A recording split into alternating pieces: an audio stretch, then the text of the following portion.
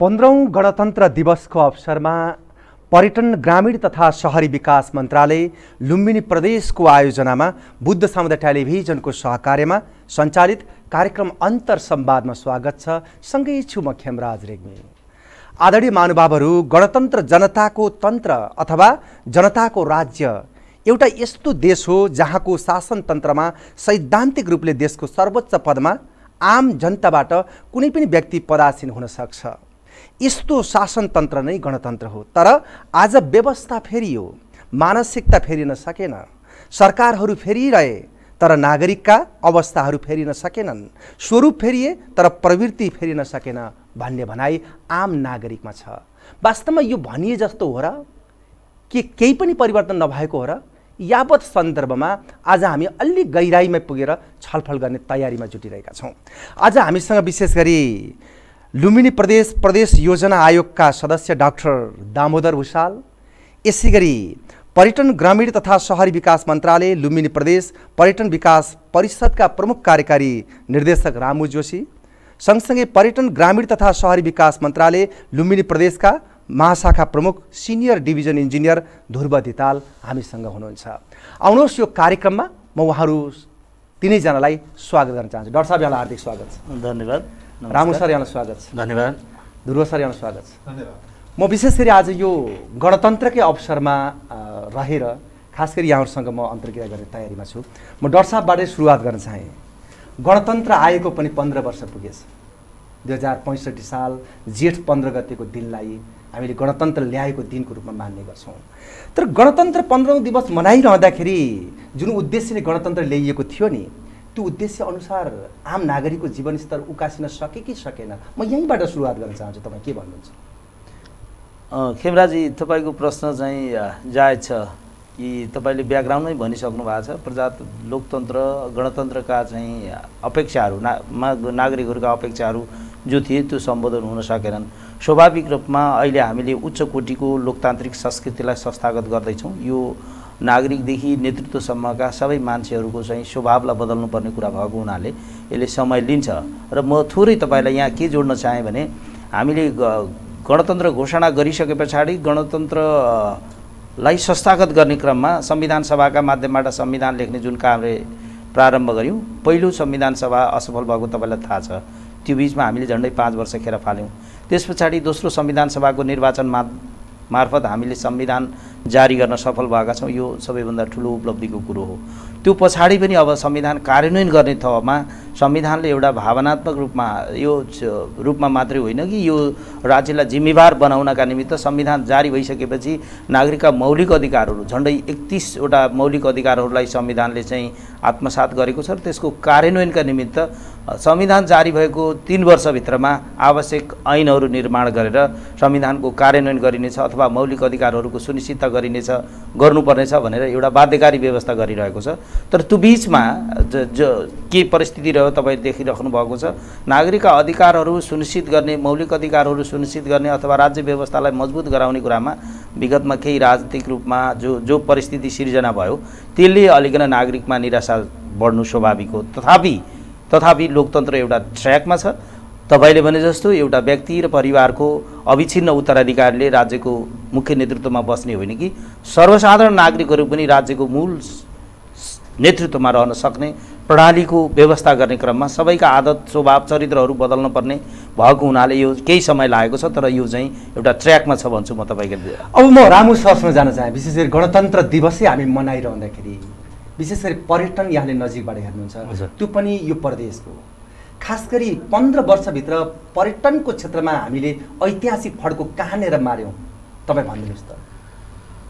अब सबभन्दा पहिले त हामी अहिलेसम्म चाहिँ गौतम बुद्धको जन्मस्थल लुम्बिनी हो होइन भनेर त्यही प्रचारमै लागिरहेको थियौँ भनेपछि अहिले आएर लगभग संसार सामु एक किसिमले लुम्बिनी नै गौतम बुद्धको एउटा जन्मथलो हो भनेर एउटा प्रचार भयो विभिन्न माध्यमबाट चाहिँ कसैको ठुलो व्यक्तित्वहरू त्यहाँ आएर वा चाहिँ सबै हिसाबले एक किसिमको रणनीतिक एउटा प्रचार गरेर गर्न सकियो त्यो एउटा ठुलो सफलता लाग्छ।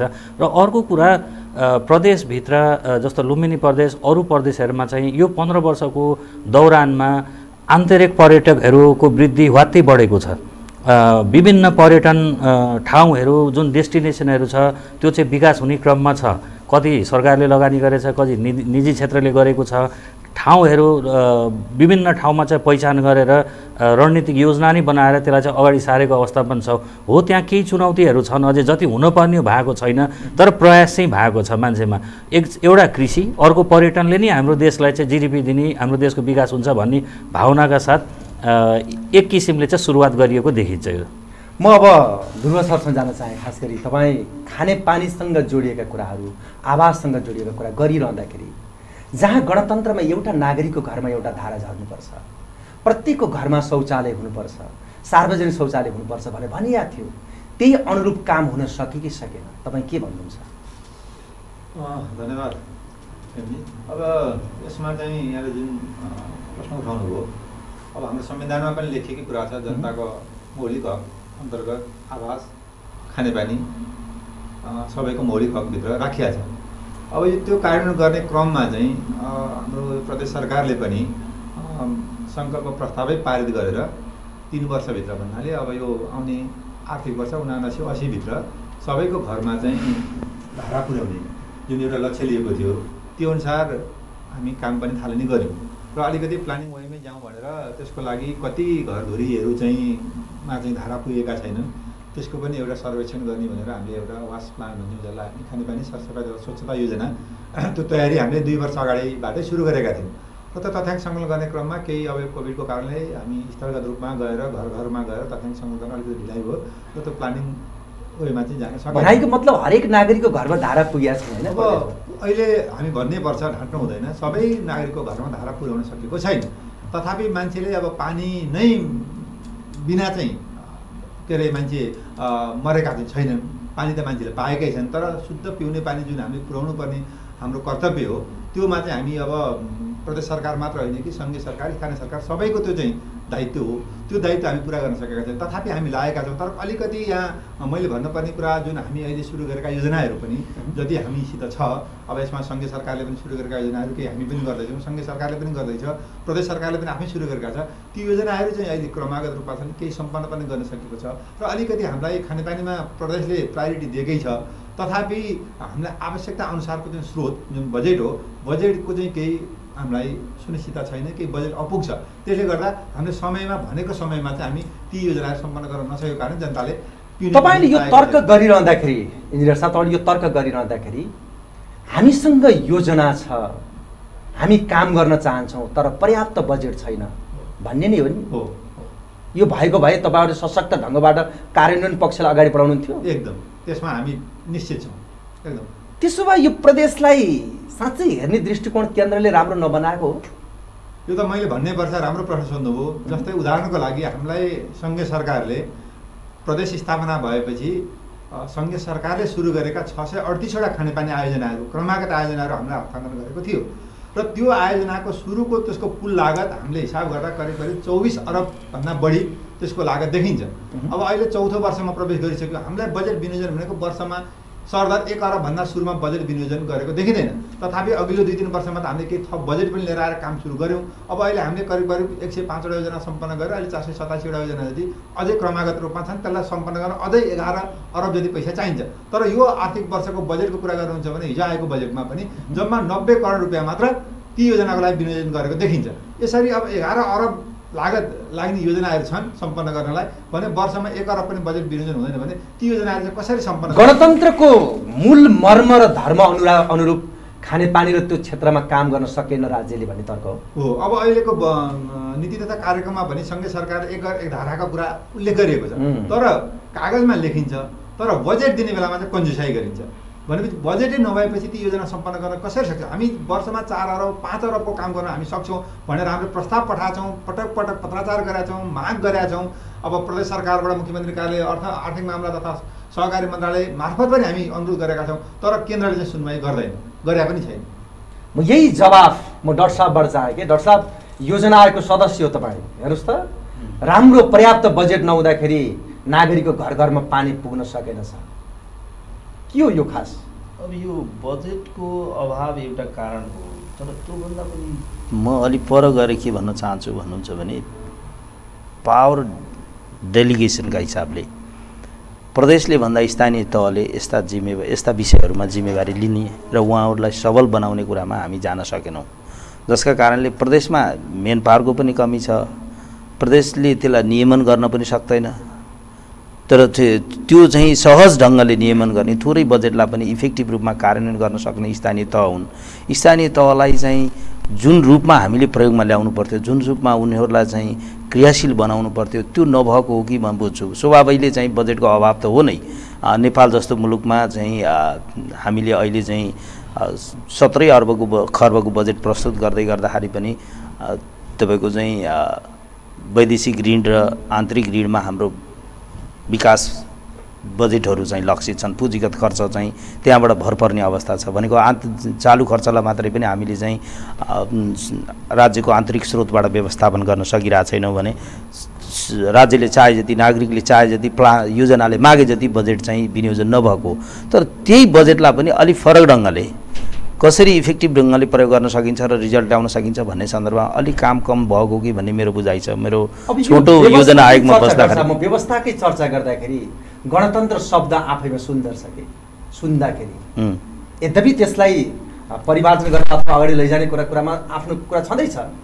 तर पनि यो शब्दकै अवमूल्यन भएको हो कि भन्ने खालको तर्क उठ्छ कि समाजमा त्यो त्यसरी नबुझौँ तपाईँ हामी मिडियामा र चाहिँ सार्वजनिक जीवनमा चाहिँ काम गर्ने मान्छेहरूले यो व्यवस्थाका प्रति सकारात्मक सन्देश प्रवाह गर्न जरुरी छ। तपाईँलाई म निवेदन गर्न चाहन्छु नेपाल छिटो छिटो व्यवस्था परिवर्तनको यात्रामा अगाडि बढिरहँदाखेरि आज हामीभन्दा विपन्न मुलुकहरू कहाँबाट कहाँ पुगिसके हामी अहिले पनि उहीँ विकासको प्रारम्भिक चरणमै छौँ। तसर्थ मैले सबै सरकारमा रहने साथीहरूलाई बाहिर रहने साथीहरूलाई पनि म भन्ने गर्छु। कम्तीमा यो व्यवस्थालाई हामीले चाहिँ सय वर्ष पचास वर्षभन्दा लामो समय चलायौँ भने यसले निश्चित रूपमा रिजल्ट दिन्छ। यो छिटो छिटो द दस वर्षमा हाम्रा व्यवस्थाहरू परिवर्तन सरकार परिवर्तनले केही असर पार्दैन। तर व्यवस्था नै परिवर्तन गर्ने गरिकन व्यवस्थाका विरुद्ध जुन बोल्ने काम भएको छ यो चाहिँ मेरा निमित्त अलिक दुःखद छ। किनभने नागरिकलाई अब फेरि अर्को राजनीतिक आन्दोलनमा सम लएर देशलाई पछाडि लानु पर्दैन। अहिले केही हदसम्म हामीले केही प्रारम्भिक चरणका कामहरू सम्पन्न गरिसकेका छौँ। तपाईँ देख्नुहुन्छ नेतृत्वका हिसाबले दलित महिला जनजाति विभिन्न वर्गका समावेशी सिद्धान्तको आधारमा विभिन्न तहमा उहाँहरूको नेतृत्वमा उपस्थिति भइसकेको छ। विभिन्न क्षेत्र वर्गलाई चाहिँ समेट्ने काम यो संविधानले गरेको छ। स्वतन्त्र मान्छेहरूले पनि यो यो संविधान अन्तर्गत चाहिँ आफूलाई यो व्यवस्था अन्तर्गत आफूलाई नेतृत्वमा स्थापित गर्न सक्नु भएको छ। धार्मिक रूपमा एक खालको धार्मिक स्वतन्त्रता सहिष्णुता हामी कहाँ विकास भएको छ। यो चिजमा ठिक छ सोचे जति हामीले प्रगति गर्न सकेनौँ होला। त्यो चिजलाई अझ धेरै इफेक्टिभली कसरी जाने भन्ने चिन्ता गर्नुपर्छ तपाईँहरूले पनि। त्यतातिर तपाईँहरूले बहस गराउनुपर्छ जस्तो अहिले बजेट आयो। बजेट आउनु भनेको बजेटका सन्दर्भमा ओनरसिप सबैले लिनु पऱ्यो यो बजेट यो गठबन्धन सरकारको र यो अर्थमन्त्रीको मात्रै होइन। यो बजेट तपाईँको पनि हो मेरो पनि हो आम नागरिकको बजेटमा प्रतिबद्धता जाहेर गरिएका बजेटमा व्यवस्था गरिएका कुराहरूको कार्यान्वयन आजको सबैभन्दा ठुलो आवश्यकता चुनौती हो। त्यसका निमित्त सरकारलाई मात्रै सरकारको मात्रै मुख ताकेर अथवा कुनै नेतृत्वमा बसेको मान्छे मुख ताकेर त्यसले गरेका कमजोरीहरूलाई आलोचना गरेर मात्रै हाम्रो जिम्मेवारी पुरा हुँदैन। आजका दिनमा सबै लोक गणतान्त्रिक मुलुकका हामी नागरिकहरूको दायित्व हुन आउँछ यो व्यवस्थाको आत्म भावनालाई आत्मसात गर्ने र आफ्नो पनि जिम्मेवारी आत्मसात गरेर आफ्नो पनि कर्तव्यबोध गरेर मैले के गर्नुपर्छ? कसरी म यो व्यवस्थालाई मजबुत गर्न सक्छु? कसरी राज्यले ल्याएका कार्यक्रमहरूलाई जनता मेरो र नागरिकको मेरो छिमेकीको हितमा प्रयोग गर्न सक्छु? भन्ने खालको यसको सन्देश प्रवाह गर्नुपर्छ। आज जतातता सुनिने गरेका छ यो व्यवस्थाले काम गर्न सक्दैन यो संहिता खारेज गर्नुपर्छ यो भन्ने खालको जुन कुरा आएको छ यसले देशलाई अरू विपन्नतातिर लान्छ सम्पन्नतातिर होइन। तसर्थ तपाईँ सम्पूर्ण आजको यो महत्त्वपूर्ण कार्यक्रमका माध्यमबाट म सम्पूर्ण चाहिँ सञ्चारकर्मी मित्रहरू सम आम नागरिकहरू राजनीतिकर्मी सबैलाई एउटा सन्देश के प्रवाह गर्न चाहन्छु भने यो व्यवस्थाका कमजोरीहरूलाई हटाउने त एउटा जिम्मेवारी छ तर सबैभन्दा पहिला यो व्यवस्थाका सबल पक्षहरूलाई केन्द्रबिन्दुमा राखेर यो व्यवस्थाको पक्षमा पैरवी गरौँ र यसलाई स्ट्रेन्थन गर्ने काम गरौँ। અહીં चाहिँ ध्रुव सरले भने जस्तै पानी प्रवाह आम नागरिकको पानी उपभोगको अधिकारलाई त हामीले तिन वर्षभित्रमा पुरा गर्छौँ भनेर यही प्रदेशले चाहिँ आवधिक योजनामा प्रतिबद्धता जारी गरेको छ। र सबै स्थानीय तहले पनि त्यो कुरा गरिरहेका छन्। भनेपछि अब बरु कामलाई अलि सहजीकरण कसरी गर्ने? अहिले यत्रो धेरै व्यापार घाटाको कुरा गर्नुभएको छ तपाईँहरू देख्नु भएको छ। काली लाग्दो अवस्था छ। कहाँबाट व्यापार घाटा कम गर्न सकिन्छ? अरू ल ठिक छ पेट्रोल डिजल जस्ता वस्तुहरू त हामीले व्यापार घाटा कम गर्न नसकौँला। आयातलाई निरुत्साहित गर्न नसकौँला। तर तरकारी जन्ने वस्तुहरू त आयातलाई रोक्न सक्थ्यौँ नि त। त्यस्ता कुराहरूमा चिन्तन गरौँ। हामीले एउटा अभियान चलाएको थियौँ करेसाबारी अभियान चाहिँ। करेसाबारी अभियानलाई मात्रै वैज्ञानिक ढङ्गले सञ्चालन गर्ने हो भने आजको दिनमा छ महिनाभित्रमा हामीले आयात तरकारी जन्ने वस्तुको आयात प्रतिस्थापन गर्न सक्छौँ। यो साइन्सले प्रमाणित गरेको छ। अहिले हाम्रै प्रदेशले गत साल चाहिँ मिठो धान उत्पादन गर्ने भनेर तिन करोड रुपियाँ जति धान छ- पैसा छुट्यायो तर त्यसको कहीँ पनि कार्यान्वयन हुन सकेन र सुन्नुहोस् म तपाईँलाई भन्दैछु मैले खास तपाईँलाई भन्न खोजेको कुरा के हो भने गणतन्त्र आफैमा नराम्रो व्यवस्था होइन। हामी स्वीकार्छौँ Yes. तर गणतन्त्र हाँक्ने रथीहरूले सही कर्म नगर्दाखेरि यो प्रतिफल भोग्न पर्या हो कि होइन भन्ने मात्र। दुईवटा कुरा हुन् एउटा एउटा कुरा। अनभिज्ञताको ज्ञानको पनि अभाव होला सिपको पनि अभाव होला एकातिर भने अर्को तपाईँले भने जस्तै यो गणतन्त्रका विरोधी बने यी सब सञ्चालकहरू यसलाई चाहिँ यो यसलाई संस्थागत गर्न चाहेनन् भन्ने ढङ्गले नबुझौँ यो अभाव छ ज्ञानको अभाव सबैतिर छ स्किलको अभाव सबैतिर छ। हामीले साझा प्रयत्न गरेर साझा चाहिँ ढङ्गले चाहिँ चिन्तन गऱ्यौँ भने विचारहरू पनि दृष्टिकोणहरू पनि र काम गर्ने सन्दर्भमा स्किलहरू पनि त्यसरी चाहिँ एक्वायर गर्न सक्छौँ प्राप्त गर्न सक्छौँ। तसर्थ यो लर्निङ बाई डुइङ हो चाहिँ।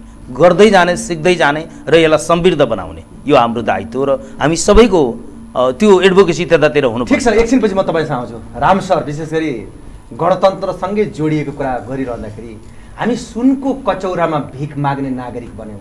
यो पर्यटनसँग जोडिँदाखेरि यो साँच्चै यथार्थमा परिणत भयो होइन? हो। यो चाहिँ वास्तविकता जस्तो लाग्छ। हामी सामान्य हेर्दाखेरि चाइनामा ठुल्ठुला मूर्तिहरू बुद्धका बनेछन्। त्यहाँ बुद्ध जन्मेको त होइन। भारतमा ठुल्ठुला बनेछन् अरू बौद्धिस्ट देशहरूमा ठुल्ठुला बौद्धि बने बुद्धका मूर्तिहरू बनेछन्। तर हाम्रोमा त त्यो एउटा ठुलो एउटा सम्पत्ति हो। ठुलो एउटा प्रोपर्टी हो त्यसलाई हामीले मार्केटिङ गर्न नसक्नु एउटा कारण हो। र अर्को एउटा के रहेछ भन्दाखेरि हामीले यसो सरसर्ती हेर्दाखेरि एकजना पर्यटक बेलिया नाकाबाट छिर्ने बित्तिकै ऊ त्यहाँ ठोकिने रिक्सावालासँग त्यहाँ ठोकिने गाडीसँग जति पनि आउँछ त्यो उसँग छो ठोकिएको कुराहरू सबै पर्यटनसँग जोडिएको हो। त्यो चाहिँ हामीले आत्मसात गर्न सकेनौँ। अब हामीसँग धार्मिक कुरा गर्ने हो भने अब यो लुम्बिनी प्रदेशको विशेष गरेर कुरा गर्छौँ भने अब धार्मिक पर्यटनको हिसाबले हामी थियौँ अथाह सम्भावनाहरू अथाह स्रोतहरू भएको। अब हिल स्टेसनको कुराहरू गर्छौँ भने हामी त्यो गत वर्ष अलिकति प्रदेश सरकारबाट अध्ययनहरू पनि गरायौँ। अनि हेर्दाखेरि चाहिँ विभिन्न ठाउँहरूमा चाहिँ हामी थियौँ भनौँ न यो हिल स्टेसनको चाहिँ वास्तवमा लिएर जाने हो भने यति धेरै सम्भावना बोकेको अब अर्को हामी एडभेन्चरको कुरा गर्छौँ टुरिज्मको कुरा गर्छौँ भने यहाँ त्यतिकै पोसिबिलिटी भएको। हरेक कुरा हुँदा हुँदै पनि हामीले गर्न नसकेको एउटा त्यो रियालिटी पनि हो। र नसक्नुको पछाडि दुई तिनवटा कारण चाहिँ यसो सरसर्ती केलाउँदाखेरि अघि बजेटको कुराहरू आयो धेरै कुराहरू एउटा स्रोत कमी पनि जस्तो लाग्छ मलाई। जति हुनपर्ने हो जस्तो अब मानव एउटा ठाउँमा एउटा मन्दिर भयो वा कुनै एउटा सर्किट बनाउनलाई अरबौँ लाग्छ भने हामीसँग त्यति स्रोत साधन त छैन र अर्को एउटा स्थानीय तह जुन प्रदेशसँग हामी मिलेर गर्न पर्थ्यो स्थानीय तहको अपनत्व हुनु पर्थ्यो यो आफू आफू गइयो कि तिनवटा तह सङ्घले आफ्नो तालले एकतिर प्रदेश एकतिर स्थानीय तह एकतिर गएर त्यही ठाउँलाई पनि तिनतिरबाट गएको हो जुन चाहिँ चाँडो हुन पर्थ्यो रिजल्ट देखिन्थ्यो त्यो नदेखिनुको एउटा कारण त्यो पनि हो। र अर्को हाम्रो सोचमा कस्तो भइदियो भन्दा होटेल बनायो भने पर्यटन आउँछन् भन्ने भइदियो कि त्यो मुख्य रूपमा?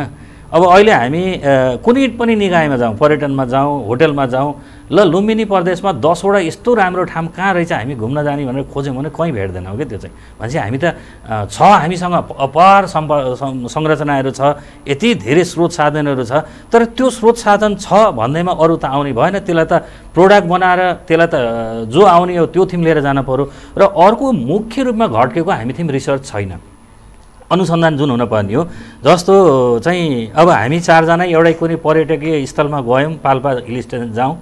हामी चारजनाले चारवटा सोच लिएर गएको हुन्छौँ। अब म चिसो खाना जाउँला डल साहब चाहिँ अब के अरे खानाको लागि राम्रो खाना पाइन्छ भनेर अब हाम्रो इन्जिनियर साहब एक थरीले जानु होला। त्यो मान्छे त्यहाँ कस्तो कस्तो पर्सेप्सनमा आएको छ र मैले कस्तो प्रोडक्ट बनाउनु पर्ने भन्ने त्यो लेकिङ छ। जस्तो यहाँ त इन्डियन पनि आउँछन् अब हिल स्टेसन भनेर आउलान् चाइनिज आउँछन्। हामी मुख्य रूपमा चाहिँ लुम्बिनी मात्रै हेऱ्यौँ धार्मिक रूपमा। अब धार्मिक पर्यटन त्यहाँको भित्छु त्यहाँ पूजा गर्न मात्रै त आउँदैनन् होला। त्यहाँ वरिपरि केही होला होइन प्रोडक्टहरू त्यो कुराहरू रिसर्चमा चाहिँ हामी कमी भयो। हाम्रो सोचमा कस्तो भयो? यहाँ फाइभ स्टार होटल बनाइदिने यहाँ मन्दिर ठुलो बनाइदिने यहाँ पार्क बनाइदिने मान्छे ओहिरो लाउँछ भन्ने भयो। तर उसको पर्सेप्सन के हो? कस्तो प्रोडक्ट भने मान्छे आकर्षित हुन्छ? यसलाई कसरी मार्केटिङ गर्ने भन्ने त्यो कम्पोनेन्टतिर हामी जाँदै गएनौँ। र इन्फ्रास्ट्रक्चरमा पनि हामीमा जति हुनुपर्ने छैन। अब इजिएसएस कनेक्टिभिटी छैन। स्वर्गदारी जानु पऱ्यो यहाँबाट। यहाँ आएपछि कोही म प्लेनमा जान्छु भने त्यो एसेसिबिलिटी त हुनु पऱ्यो नि। इजी एसेस गराउनु पर्ने लोकेसनमा जानुपर्ने अब भनौँ नि रोल्पाको जलजला प्युठानमा त्यति धेरै स्वर्गदारी र लुम्बिनीसँग जोडिने सम्भावना रहेछ जस्तो लुम्बिनी शान्तिको भन्छौँ।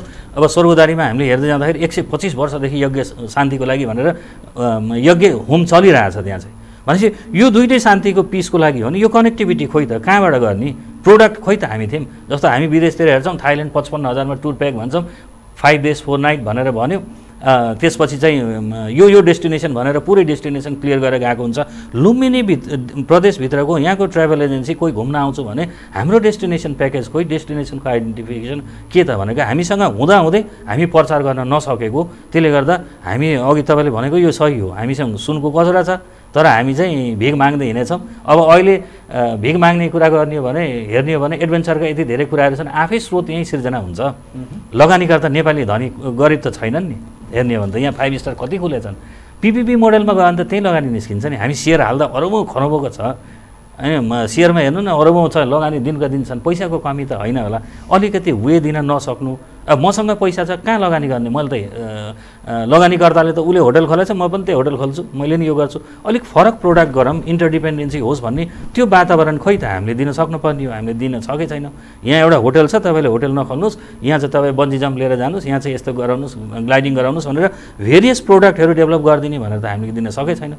हो त्यसले गर्दाखेरि गर्नुपर्ने धेरै छ। सम्भावना हुँदा हुँदै पनि सानसानो कुराहरूमा हामी चुकेछौँ। त्यो सम्भावनाहरू इन्जिनियर साहबले भने जस्तै प्रदेशलाई अलि हेर्ने दृष्टिकोण केन्द्रले सबल राखेन राम्रो राखेन। यसका प्रतिफल पनि प्रदेश खुम्चिनु पर्ने परिस्थिति आयो भन्ने खालको तर्क थियो नि। यसमा तपाईँ भनाइ के हो? पर्यटनसँग जोडिँदाखेरि। पर्यटनसँग हो। हामी स्थानीय तहसँग गएर पर्यटनसँग अहिले अलिकति के कस्तो भने दुई तिनवटा ठाउँमा गयौँ हेऱ्यौँ। प्रदेश यो कस्तो हुन पर्थ्यो भन्दाखेरि स्रोत साधनहरू सङ्घबाट सिधै गाउँपालिकामा गए। है? अब प्रदेशमा किन आउने त भन्दाखेरि त्यही सम्पूरक सानसानो अनुदानको लागि आउने सानसानो कामको लागि। अब प्रदेशलाई चाहिँ कस्तो भइदियो भन्दाखेरि सीमित घेराभित्र राखिएको हो। वास्तवमा हेर्दाखेरि तपाईँको न स्थानीय तहसँग चाहिँ हामी सिधै काम गर्न सक्छौँ। अस्ति पर्यटनकै करको कुरा गर्दा हामी चाहिँ अलिकति अब पर्यटन क्षेत्रमा चाहिँ हामी आन्तरिक स्रोत साधनहरू कति बढाउन सक्छौँ भनेर हामी छलफलमा थियौँ। अस्ति मन्त्रालय अर्थ मन्त्रालयसँग बसिरहेको थियौँ। स्थानीय तहले चाहिँ आफ्नो पेरिफेरीमा एउटै पर्यटन व्यवसायलाई स्थानीय तहले दर्ता गर्दैछ। अब अर्को सङ्घले पनि दर्ता गर्न मिल्ने छ त्यहाँ पनि छ। फेरि हामी प्रदेश पनि त्यो लिएर आएर पर्यटनमा दर्ता भयो भन्दा त यो त एउटै व्यक्ति तिन ठाउँमा कर तिर्ने हिसाबको हुन्छ। भनेपछि स्थानीय तहलाई चाहिँ घर घरमा सिंहदरबार भन्ने जुन नारा लिएर आएर हामी चाहिँ सबल बनाउने भनेर स्थानीय तहलाई चाहिँ अधिकारहरू दियौँ। तर जुन चाहिँ माथिबाट कार्यक्रम बजेटहरू जुन चाहिँ एउटा फ्लो हुनपर्ने सङ्घबाट प्रदेश प्रदेशबाट स्थानीय तह जुन जान पर्ने नभइदिएर एउटा बाइपास जस्तो भएको त हो। कार्यक्रम यसमा चाहिँ। जसले गर्दाखेरि स्थानीय त हामीसँग किन आउने? त वर्षको एकचोटि त्यही सम्पूरक बजेटलाई अलिकति माग्न आउने त्यसपछि त न हाम्रो उपस्थिति छ त्यहाँ। एक किसिमको स्थानीय तहमा सिधै त छैन। डिभिजन कार्यालय मार्फत कति गरेछौँ। न उहाँहरूसँग हामी कहिले जोइन्ट बसेर कार्यक्रम बनाइएछ। ल हामी तपाईँ यो क्षेत्र मेरो यो क्षेत्र भनेर छैन। त्यसले गर्दा डुप्लिकेसन पनि भएको छ। स्थानीय तहले उदाहरणको लागि कृषिमा चाहिँ अनुदान दिइरहेछ सबै गरेछ। त्यही क्षेत्रमा प्रसि प्रदेशले पनि दिइरहेछ। होइन त्यहीँ गएर म, काम गरिरहेछ भनेपछि डुप्लिकेसनको सम्भावना पनि बढी भयो। स्रोत पनि टुक्रा टुक्रा भएर थोत्थोरे गयो जस्तो एक अरब थियो भने तिनवटा तहले बाँड्यो भने एउटाले बढी बाँड्ला एउटाले थोरै बाँड्ला।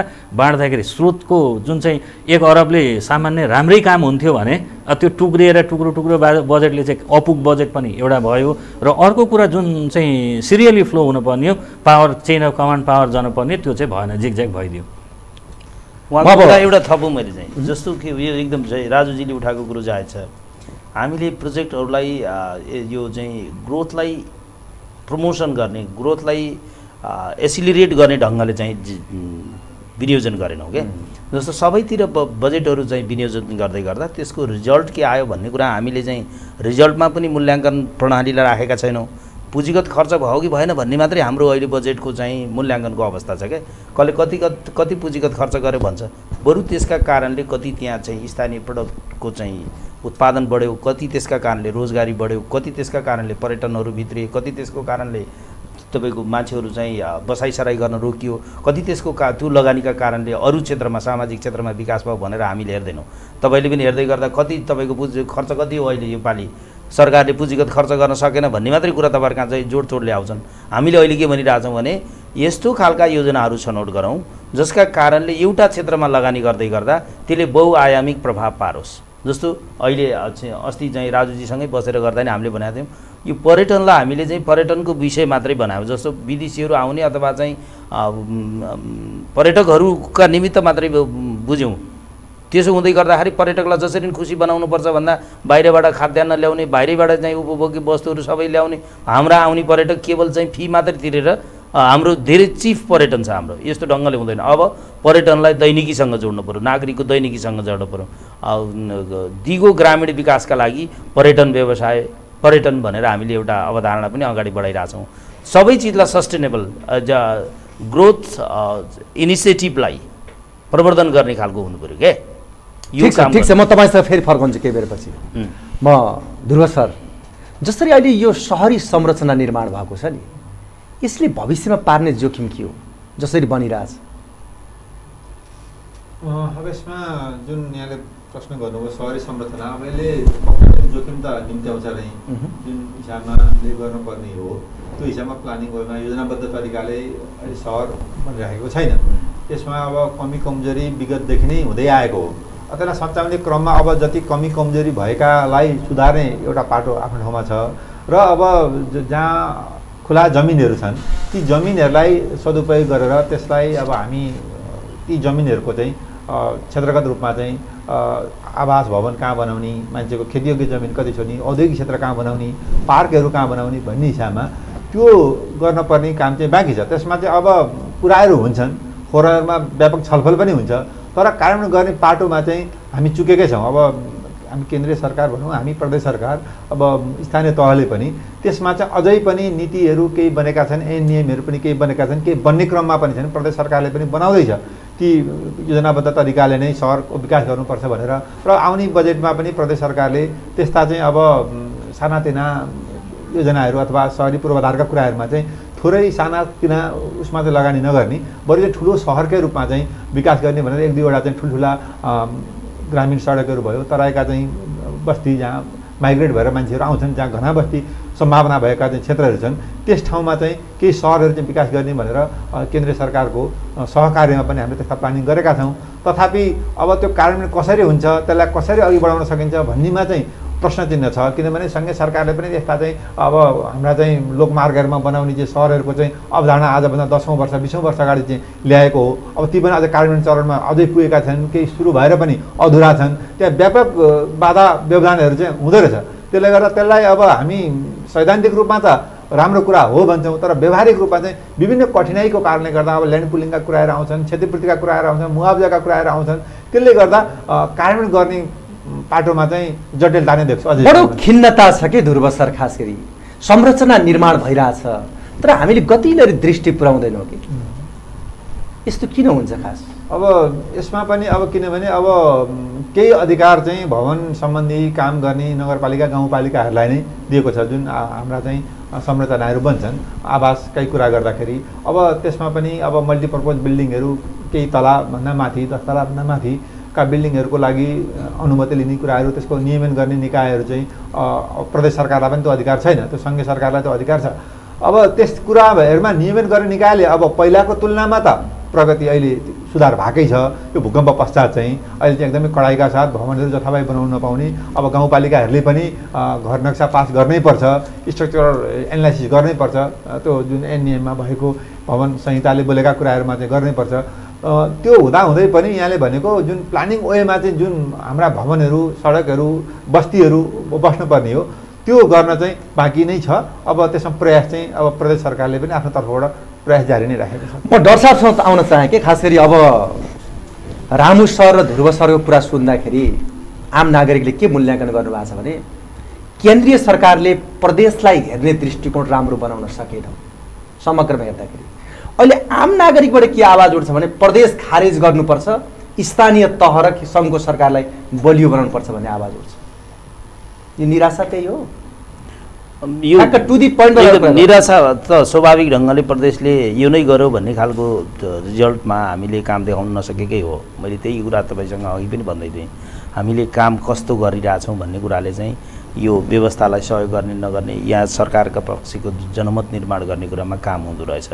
अहिले प्रदेशले आफ्नो चाहिँ इम्पोर्टेन्स चाहिँ वास्तविक ढङ्गले चाहिँ जनस्तरमा देखिने गरिकन राख्न सकेका छैन। तसर्थ हामीले अहिले केही योजना आयोगको तर्फबाट केही कुराहरू भनेका छौँ जस्तो प्रदेशले के पर्यटनकै सन्दर्भमा कुरा गर्दा लुम्बिनी र चाहिँ जुम मुस्ताङलाई जोड्ने खालको एउटा बहुआयामिक पर्यटन इको टुरिज्म एग्रो टुरिज्म यो वाटर बेस्ड टुरिज्मका कुराहरू अनि चाहिँ ट्रेकिङका कुराहरू यो यावत कुराहरूलाई जोडेर हामीले चाहिँ यदि मुस्ताङ र चाहिँ लुम्बिनीलाई जोड्यौँ धार धर्मका हिसाबले पनि हिन्दू धर्म र चाहिँ बौद्ध धर्मलाई चाहिँ प्रवर्धन गर्ने गरिकन संसारभरि रहेका उम्, झन्डै बाहन्न करोड चाहिँ बुद्धिस्टहरू र चाहिँ अरबौँको सङ्ख्यामा रहेका हिन्दूहरूलाई चाहिँ यो ट्र्याकमा हिँडाउन मात्रै सक्यौँ भने यहाँको चाहिँ प्रदेशको आय आर्जनका थुप्रै आधारहरू खडा हुन सक्छन् भनेर एउटा एउटा छलफललाई हामीले अगाडि ल्याएको छौँ। सँगसँगै अहिले के भइरहेछ भने पहाडी क्षेत्रबाट व्यापक सङ्ख्यामा मा मान्छेहरू माइग्रेट भइरहेको छ। माइग्रेट हुनुका तिन चारवटा कारणहरू छन्। एउटा त क्वालिटी एजुकेसन भएन होला त्यसपछि गएर चाहिँ हेल्थको कुरो भएन। त्योभन्दा पनि ठुलो कुरो के हो भने रोजगारीका आधारहरू गाउँ गाउँमा सिर्जना गर्न नसकेका कारणहरू मान्छे बसाइसराइ गरेर तल आएको छ। अहिले हामीले के भनेका छौँ भने सुनाइ कति हुन्छ थाहा छैन तर हामी के भन्दैछौँ भने कम्तीमा पर्यटनकै तर्फबाट काम गर्दाखेरि पनि एउटा गाउँपालिकामा यी कम्तीमा पूर्ण सरसफाइयुक्त एक एकवटा गाउँहरू बनाऊ। ताकि ती गाउँहरूमा चाहिँ प्रदेशका पनि मिटिङहरू त्यहाँ गर्न सकियोस्। मन्त्रालयका मिटिङहरू पनि त्यहाँ गर्न सकियोस्। यस्तो ढङ्गले चाहिँ अब त्यहाँबाट बसाइसराइ गर्ने होइन कि विकास गाउँमै आउँदैछ तपाईँको घरमै आउँदैछ हामी त्यही नै बसेर प्लानिङ गर्दैछौँ भन्ने खालको एउटा सन्देश दिउँ भनेर हामीले केही प्रस्ताव गरिरहेछौँ सँगसँगै हामीले कृषि पर्यटन र जलस्रोतको एकीकृत विकासलाई अगाडि बढाउनुपर्छ। अब चाहिँ यो सबै अन्योन्याश्रित सम्बन्ध रहँदो रहेछ चाहिँ पानीको रक्षा गर्न सकिएन भने भोलि हाम्रो चाहिँ पर्यावरणमा देखिने जुन समस्याहरू छन् त्यसलाई चाहिँ हामी न्यून गर्न सक्दैनौँ। जस्तो अहिले ठुलो सङ्ख्यामा अहिले तपाईँले चाहिँ ध्रुव सरसित कुरा गर्दै हुनु त पानी दिन सकिएन। पानी दुई तिनवटा कुरा छन्। एकातिर पानीको मुहान देखेर हामीले चाहिँ त्यहाँ योजनाहरू सञ्चालन गऱ्यौँ तर योजना सम्पन्न हुँदा नहुँदै त्यहाँबाट पानी सुकेर चाहिँ परियोजनाले चाहिँ निष्प्रभावी भएको उदाहरण पनि छन्। तसर्थ अब पानी रक्षा पानीको संरक्षण जो ग्राउन्ड वाटर चाहिँ रिचार्ज गर्ने कुराहरू ठाउँ ठाउँमा हामीले के भनेका छौँ भने पाहाडहरूमा खोल्सा खोल्सी टुप्पाहरूमा चाहिँ पोखरीहरू निर्माण गरेर त्यहाँको चाहिँ ड्याम बनाएर चाहिँ पानी रक्षा गर्ने काम पनि गर्नु पर्छ जसका कारणले पर्यटनको पनि सम्भावना बढेर जान्छ होइन? त्यो तपाईँको चाहिँ जलस्रोतको उपयोग त्यस्तै भयो भने माटोको सन्दर्भमा पनि हामीले भनिरहेछौँ अहिले चाहिँ आयात हामी ज्यादै चाहिँ आधुनिक प्रविधिको प्रयोग गर्ने नाममा चाहिँ कृषि हाम्रो चाहिँ माटो अलमोस्ट डाइ भइरहेछ मरिरहेको छ। अब यही स्थिति रहिरहने हो भने दीर्घकालमा हामीले जति नै प्रयत्न गरे पनि हाम्रो चाहिँ खाद्य आवश्यकतालाई खाद्य वस्तुको चाहिँ उपलब्धतालाई पुरा गर्न सक्ने अवस्था छैन अथवा चाहिँ न्यून हुने अवस्था छ। तसर्थ अर्ग्यानिक फार्मिङको बाटोबाट अर्ग्यानिक वेबाट प्रकृतिलाई प्रतिकूल नहुने गरिकन उत्पादनलाई बढाउनुपर्छ भनेर हामीले यो पनि सल्लाह दिइरहेछौँ। हामीले अस्ति मात्र एउटा रिसर्च हामी प्रदेशमा आइसके पछाडि दसवटा विधामा रिसर्च अनुसन्धान गर्न पठाएका थियौँ।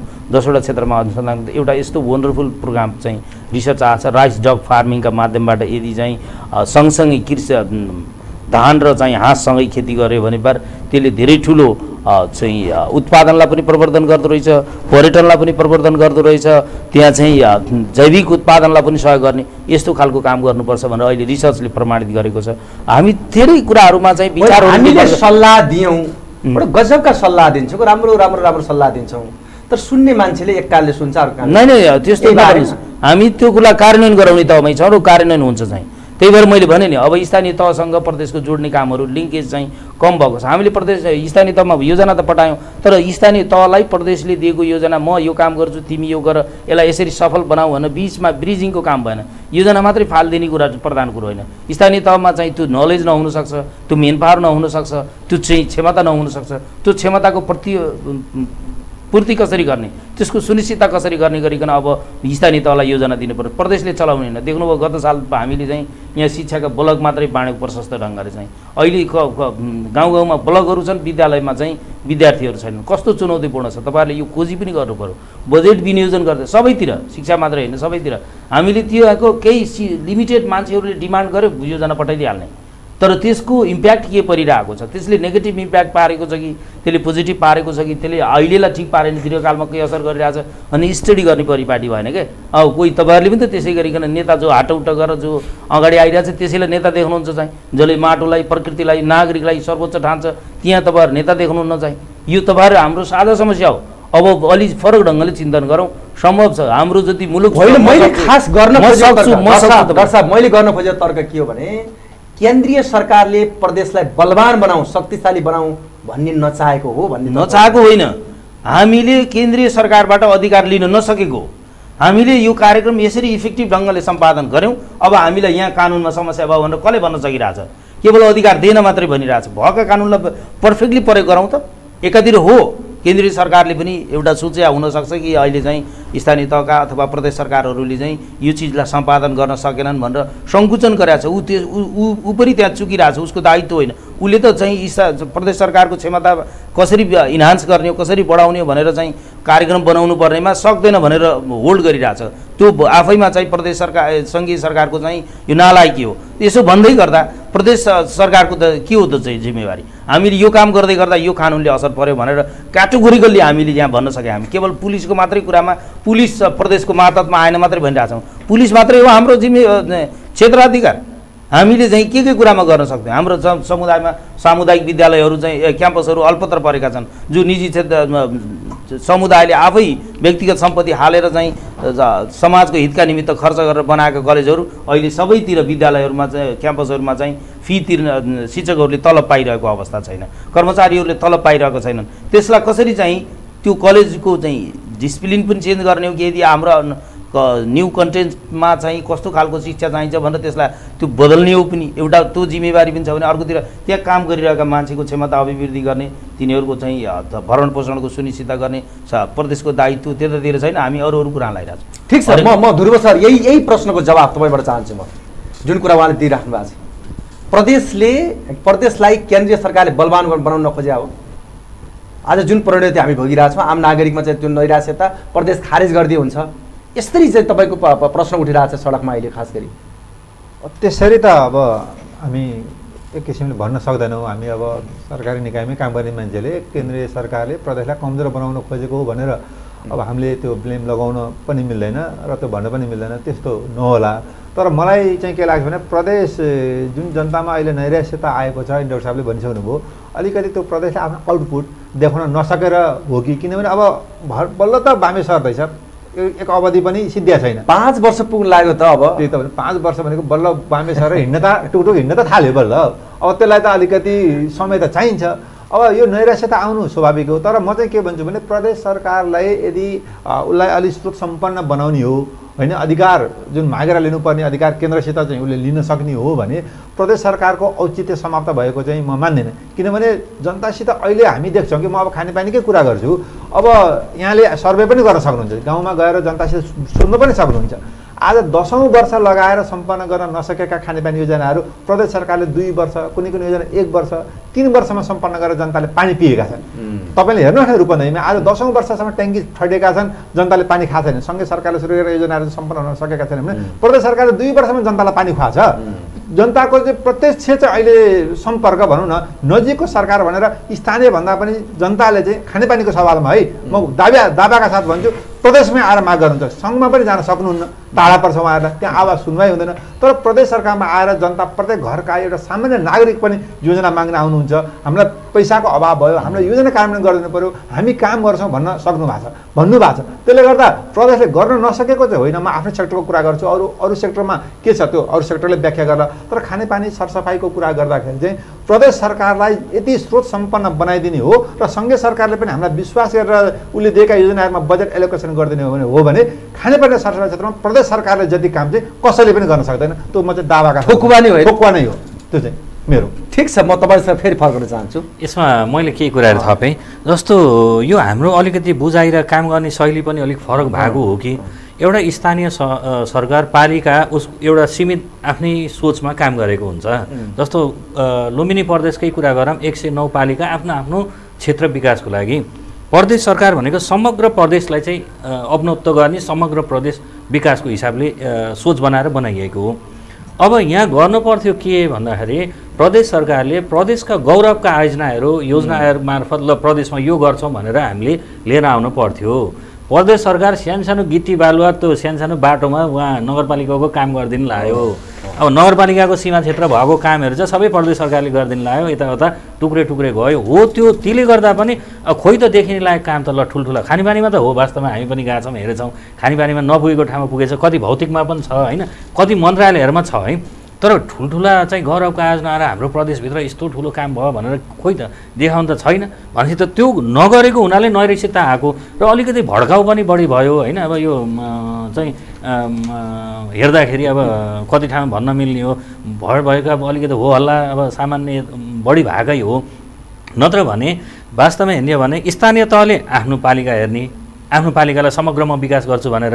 अनि त्यहाँ भएको कुराहरू नपुगेको प्रदेशले त थप्ने हो। त्यहाँबाट माथि सङ्घ यो त मिलेर गयो भने त आखिरमा विकासको मोडल त धेरै राम्रो थियो नि। बिस वर्ष नहुने काम त पाँच वर्षमा मिलेर गयो भने त पाँच वर्षमा त कायापलट हुन्थ्यो। स्थानीय तहले ल मेरो क्षेत्र यो हो म यहाँ यहाँ कृषिमा यो काम गर्छु बाटोमा यो काम म गर्छु प्रदेशले यो गराइदियोस् अनि प्रदेशले नसकेको कामहरू सङ्घले यो गराइदियोस् भनेपछि त कति त छ र क्षेत्रफल? होइन यत्रो सानो क्षेत्रफलमा हामीले चाहिँ आठ दसवटा कुरा देखिने खालको आउने बित्तिकै त त्यत्तिकै मान्छेको पर्सेप्सनमा पनि सोचमा वास्तवमा विकास भएको छ भनेर सामान्य हेरौँ है हेर्दाखेरि हाम्रो विकासको कस्तो भइदियो भन्दाखेरि सोच देखिनेलाई मात्रै विश्वास गर्ने भयो कि? बाटो फराकिला छ राम्रो छ भने वास्तवमा यहाँ त विकास भएर यहाँ भित्र चाहिँ के छ कसो छ थाहा छैन। त्यहाँ आय आर्जन छन् गरिब छन् धनी छन् विद्युत पुगेछ छैन। आँखाले देखिने कुराहरू टेन्जिबल कुराहरूमा मात्रै जाने भयो। त्योभन्दा बाहेक अरू जाने देखेन। त्यसले गर्दाखेरि भएको इन्भेस्टमेन्ट सबै देखिनेमा गयो। अनि त्यो पनि देखिनेमा पनि कस्तो समस्या भन्दाखेरि अब यहाँ अघि पनि मैले भने स्रोत साधन हेर्ने हो भने प्रदेशको त चालिस पचा चालिस पैँतालिस अर्बको त वार्षिक बजेट छ नि। चालिस पैँतालिस अर्ब एउटा प्रदेशको छ भने हाम्रै प्रदेशको कुरा गर्दा स्थानीय तहको त भनौँ न डेढ करोडदेखि दुई करोडसम्म एक करोड कुनैको एक करोड होला दुई बढी भनेको दुई अर्बसम्म वार्षिक छ। भनेपछि त्यो यता चालिस अर्ब जुन गएको छ यता दुई अर्ब भनेको त त्यो बजेटकै डिफ्रेन्स छ। कोर्डिनेसन त चाहियो। त्यो कोर्डिनेसन गरिदिने परिपाटी सुरुदेखि बसेन। ऊ आफ्नै म राजा भनेर एकतिर हिँड्ने यता एकतिर हिँड्ने अनि माथि। एकतिर भनेर त्यो चाहिँ त्यसले गर्दाखेरि यो बिग्रेको नत्र भने वास्तवमा यो तिनवटै अङ्गलाई चाहिँ राम्रैसी परि परिचालन गऱ्यो भने दस वर्षपछिको विकास हामी पाँच वर्षमा चाहिँ साँच्चैकै कायापलट गराउन सक्ने हुन्थ्यो तिनवटा मिलेर गरेर। जस्तै राम्रा कुराहरू हामीले बाहिर ल्याउन सकेनौँ होइन गुरु सर। राम्रा कुरा बाहिर ल्याउन सकेनौँ। जे छ भित्रै सीमित राखिदिँदाखेरि बढी आलोचित भइयो हो त्यसमा चाहिँ यहाँले सही कुरा भन्नुभयो। राम्रा कुरा हामीले त्यही प्रचार गर्न सकेनौँ अहिले। अब जस्तै अब भनौँ न अलिकति अब कोर्डिनेसन गभर्मेन्ट गभर्मेन्ट छ चालु खर्च बढेको छ सरकारहरू मन्त्री यावत कुराहरूमा चाहिँ बढी खर्च देख्यो अनि सरले भने भड्काउ अलिक त्योमा मान्छेको बढी चासो हुन्छ तर भित्री रूपमा मान्छेले गइदिएर चाहिँ हेर्दैन क्या प्रदेश सरकारले के काम गरेको छ? भित्रभित्र कति काम गरेको छ? कति जनतालाई चाहिँ के विषयमा चाहिँ सुविधा दिएको छ भन्ने कुरामा चाहिँ त्यति छिरेको चाहिँ देखिँदैन। अब मैले अहिले खानेपानीको कुरा मैले भनिहालेँ प्रदेशको इज्जत राखिदिएकै तर हामीले बुझाएनौँ कि सर, बुझाएनौँ। हामीले बुझाए बुझाउनु पर्यो नि त जनतालाई। आम नागरिकलाई सुसूचित गराउन सकिएन भने त आलोचित भइन्छ त। भएको चाहिँ त्यही हो। अब विशेष गरी म राम सरलाई म के जिज्ञासा राख्न चाहेँ भने कतिपय चाहे त्यो अन्य मुलुक होस् चाहे त्यो पश्चिमा मुलुक होस् भौतिक संरचना खडा गरेर लाखौँ पर्यटक तान्ने एउटा आधारशिला खडा गर्छ। प्रकृतिले दिएका यति राम्रा गहनाहरू हामीसँग छन् तर पर्यटक हामी तान्न सक्दैनौँ कि सर? अब यो सही कुरा हो। हामी सरसर्ती हेर्दा यो पर्यटन विकास परिषद अहिले गठन भयो प्रदेशमा। योभन्दा पहिला चाहिँ हामी पर्यटनको चाहिँ बजेटहरू समीक्षा गऱ्यौँ दुई तिन वर्षको। अहिलेसम्म हाम्रो पर्यटनको सबै पैसा चाहिँ मठ मन्दिरमा मात्रै जान्थ्यो। लगभग होइन सर? लगभग नब्बे प्रतिशत है? अनि त्यसपछि बाँकी भएको ताल तलैयातिर जाने। तपाईँ आफै भन्नुहोला एउटा ठाउँमा मार्केटिङ जुन भन्छौँ नि हामी एउटा छ एकदमै राम्रो छ त्यसलाई प्रचार प्रसार गरेर त्यहाँसम्म पुगाउनको लागि मैले त थाहा पाउनु पऱ्यो तपाईँ हामीले थाहा पाउनु पऱ्यो नि। जस्तो गुल्मीको रेसुङ्गा भनेर अब एउटा धार्मिक पर्यटकीय हिसाबले अनि त्यसपछि दृश्य अवलोकनको हिसाबले पर्या पर्यटनको हिसाबले त राम्रो ठाउँ हो नि। त्यहाँ रेसुङ्गामा चाहिँ हामी गयो भने यस्तो छ है त्यहाँ हेर्न लायक कुराहरू छ भनेर त्यो त मैले थाहा पाउनु पऱ्यो नि। भनेपछि त हामी प्रचार प्रसार कहाँ गऱ्यौँ त? अब तपाईँ हामी कुरा गरौँ यहाँ जगदीशपुर ताल छ। प्युठानमा दुई चारवटा ठाउँ यस्ता ठाउँहरू छन्। सांस्कृतिकको कुरा गऱ्यो भने हामीथिङ थारूको कल्चरहरू छ। इन्डिजिनस कल्चरमा त हामी एकदमै धनी नै छौँ। थारूको चाहिँ कुरा भनौँ न संस्कृतिहरू उनीहरूको खानपानहरू छ मगरको छ बाहुन छेत्रीको छ सबै छ। अब प्रदेश सरकारले कल्चरल भिलेज भनेर लास्ट इयर हामीले बजेट राखेर बाह्रवटा जिल्लामा बाहुनको कल्चर मगरको कल्चर थारूको कल्चर खस छेत्रीको कल्चर अवधको कल्चर भनेर सबै जिल्लामा हामीले चाहिँ एक किसिमले अध्ययन गरायौँ डिपिआर सिपिआर बनायौँ। अब यसमा चाहिँ आउने वर्ष त्यो कल्चरल भिलेज सांस्कृतिक ग्राम बनाउने हिसाबले लगानी गर्ने भनेर अनि त्यसलाई चाहिँ प्रदेश सरकारले नै पर्यटन मन्त्रालय अन्तर्गत गरेर बनाउने भनेर भन्यौँ। अब त्यहाँ कल्चरल भिलेज छ त्यसलाई हामीले प्रचार गरेनौँ तपाईँ हामीले थाहा पाएनौँ भने त हामी त त्यहाँ जाँदैनौँ नि। अनि हामीले खोइ त मार्केटिङ गरेको? अब हाम्रो नजिकमा हेरौँ युपी बिहार छ यति ठुलो जनसङ्ख्या छ यहीँको जनसङ्ख्याहरू नेपालमा आइरहेछन्। आएर एउटा बोर्डरमा छिर्ने बित्तिकै हामीले प्रचार प्रसारमा चाहिँ ध्यान नदिएकै हो। अब यो प्रचार प्रसार यो यो बेकारमा पैसा फाल्ने हो भन्ने हिसाबले सोच्यौँ होइन? अब उदाहरणको लागि भनौँ इन्डियाबाट इन्डिया मोदी प्रधानमन्त्री आउनुभयो मुक्तिनाथ जानुभयो। मुक्तिनाथ जाने बित्तिकै अहिले इन्डियाको टुरिस्टहरू पुरै ओइरो छ। गाडी रिजर्भ गर्दै मुक्तिनाथ जाने। अस्ति लुम्बिनीमा आउनुभयो। अस्ति हामी चाहिँ पर्यटन व्यवसायीसँग ल हामी के गर्न सक्छौँ भनेर छलफल राखेको थियौँ भैरवामा। अहिले त्यो बोर्डरमा गाडी पाइन्न। नेपाली चाहिँ व्यवसायीहरूले इन्डियाको गाडी चाहिँ यतापट्टि भन्सार काटेर अनि भाडामा चाहिँ त्यति मान्छे चाहिँ ओहिरो लागिरहेछ। भनेपछि त एकजना ठुलो व्यक्तित्व आयो भने उसँगै मिडिया पनि आउँछ। उसँगै एडभर्टाइजमेन्ट भयो नि वर्ल्ड वाइड त्यो हामी सोचेनौँ वा कहाँ ल्याउने यता गर्ने उता गर्ने भनेर अनावश्यक भयो भनेर भड्किलो भयो भन्ने कुराहरू हुन्छ। त्यसले गर्दा हामीसँग हुँदा हुँदै नै हामी मार्केटिङ गर्न सकेनौँ। अरूसँग सामान्य एउटा भनौँ न सेम्पू छ दस थरीका सेम्पू हुन्छन्। त्यो सेम्पू प्याकेजिङ एडभर्टाइजमेन्टमा बढी खर्च गरेर सामान्य एउटाभन्दा अर्को झन् राम्रो झन् राम्रो देखाएर चाहिँ त्यसलाई चाहिँ प्रचारमा लिएर आएर बेचिरहेको हुन्छ। हामीले सेल गर्ने हो। टुरिज्म भनेको पर्सेप्सन हो। मान्नु होला सिधै गर्दा। मैले एउटा होटलमा छिर्छु एउटा आश लिएर यहाँ यस्तो खानेकुरा पाइन्छ भनेर म छिर्छु। त्यहाँ मैले पाएन भने यो खतम रहेछ भनेर भोलिदेखि म कराउँदै हिँड्छु। भनेपछि हामी तयार छौँ त त्यहाँ। हाम्रो क्वालिटी मेन्टेन गर्नलाई। एउटा रिसेप्सनमा आइसकेपछि उसले कसरी बोल्ने? भनौँ न एउटा पर्यटक छिरिसकेपछि ट्याक्सी ड्राइभरले कसरी कुरा गर्ने ऊ एउटा ट्याक्सी ड्राइभरलाई कहाँ कहाँ घुम्न जाने भनेर एउटा इन्डियन पर्यटक आएर सोध्यो भने उसले डेस्टिनेसन पनि त सर भन्न सक्नु पऱ्यो हामीसँग सफ्टवेयर माध्यमहरू हुनु पर्थ्यो। ल लुम्बिनी प्रदेशमा अब नेपालमा छिरेपछि यो यो छन् त छ व्यक्तिगतमा केही मात्रामा सुरुवात गरिएको छ। त्यसले गर्दा सम्भावना छ प्रचुर मात्रामा। हुँदाहुँदै पनि गर्न नसकिएको भनेको हामीले मार्केटिङ र प्रचार गर्न नसकेको त्यसलाई प्रोडक्ट मूल कुरा यही नै हो। प्रोडक्ट हाम्रो प्रोडक्ट चाहिँ हामी प्रोडक्ट बेच्न सकेनौँ भनेपछि। अब म अब डरसाफमा आउन चाहेँ कि खास गरी यो गणतन्त्रात्मक शासन व्यवस्थालाई मजबुत बनाउने गरी प्रदेश योजना आयोगले कस्तो भूमिका खेलेको छ? ठ्याक्कै टु दि पोइन्ट के वान टू थ्री भन्नुहोस् त ल। मैले मैले अघि नै पनि केही कुराहरू राखेँ तपाईँलाई। अब प्रदेश योजना आयोगको पनि भूमिकालाई चाहिँ कति कस्तो छ भन्ने कुरा तपाईँहरूले विचार गर्नुपर्छ। हामीले जे सजेस्ट गरिरहेछौँ हामी सल्लाहकारको भूमिकामा मात्रै छौँ सल्लाह गरेको कु- दिएको भूमिकालाई लिने पनि रहेछन् कोही कोही ठाउँमा तर अधिकांश ठाउँमा लिन पर्दैन भन्ने खालको छ। यो पार्टलाई तपाईँ हामी सबैले चाहिँ इन्स्टिट्युसनहरू सरकारद्वारा गठन गरिएका सबै इन्स्टिट्युसनहरूलाई रेस्पोन्सिबल बनाउने र तिनीहरूले गरिरहेको सर्भिसलाई र तिनीहरूले गरेको सजेसनलाई ओन गर्ने जवाफदेही हुने त्यसमा चाहिँ काम गर्न बाध्य बनाउने प्रणाली पहिलो जरुरी छ। जस्तो हामी कहाँ प्रदेश योजना आयोग छ प्रदेश योजना आयोगका सल्लाहहरूलाई केवल चाहिँ बहुवर्षीय योजनाहरूको चाहिँ सहमति प्रदान गर्नका निमित्त बहुवर्षीय बजेट सुनिश्चितताका निमित्त सहमति प्रदान गर्न योग्य छ कि छैन भन्ने ढङ्गले मात्रै प्रयोग गरिरहेको छ। हामी यसरी हुँदैन। किनकि अहिले यो प्रदेशमा अलि नवीन ढङ्गले काम गर्न जरुरी छ। तपाईँहरूको काम गराएको तौर तरिकामा यावत बदलाव ल्याउन जरुरी छ। तपाईँहरूले हामीसँग सहकार्य गर्नुहोस्। हामीलाई पनि चाहिँ त्यो काम गर्नका निमित्त सहजीकरण गर्नुहोस् भनेर भनिरहेछौँ। त्यो भइरहेको छैन। किन यो मैले यहाँ गुनासो गरेँ होइन चाहिँ तपाईँले यसको इफेक्टिभनेसलाई खोजेको हुनाले मैले यहाँ जो दर्शाएको। अर्को कुरो हामी वास्तवमा चाहिँ समग्र विकास जस्तो ऐ राजुजीले भनेकोसँग पनि एउटा जोड्न चाहन्छु। म चाहिँ तपाईँको उनपचास सालदेखि सडसट्ठी सालसम्म काठमाडौँमा बसेँ। यो भने कति समय भयो तपाईँ आफै भन्न सक्नुहुन्छ झन्डै चाहिँ सत्ताइस अट्ठाइस वर्ष भयो होला। त्यो समय बस्दा मलाई ख्याल थिएन। त्यतिखेर एउटा मिडियामा एउटा न्युज आएको थियो एउटा मुम्बईबाट आएको पर्यटक काठमाडौँ भ्यालीमा झरिसके पछाडि उसले चाहिँ त्यो वरिपरि चाहिँ त्यो फिल गरेछ। त्यो हट टेम्परेचरबाट आइरहेको पर्यटक त्यहाँ आउँदा। यहाँ चाहिँ काठमाडौँ नेपाल कति धनी रहेछ? यो एयरपोर्टको वरिपरिको वातावरण नै एसी हालिदिएछ। भनेर एउटा खालको इमेजिनेसन त्यो खालको कल्पना त्यो खालको उ गरे रहेछ घोषणा गर्यो। भनौँ उसले त्यो खालको अनुभूति गर्यो। त्यो अनुभूति अस्ति मलाई स्वयंलाई भयो। म यहाँ तराईमा बस्न थालेको पनि झन्डै दुई तिन वर्ष भयो चाहिँ। र अस्ति चाहिँ भैरवाको फ्लाइटबाट म चाहिँ काठमाडौँ पुग्दै गर्दा काठमाडौँ झरिसके पछाडि मेरो सेम त्यही अनुभूति भयो। जतासुकै त्यो खालको चाहिँ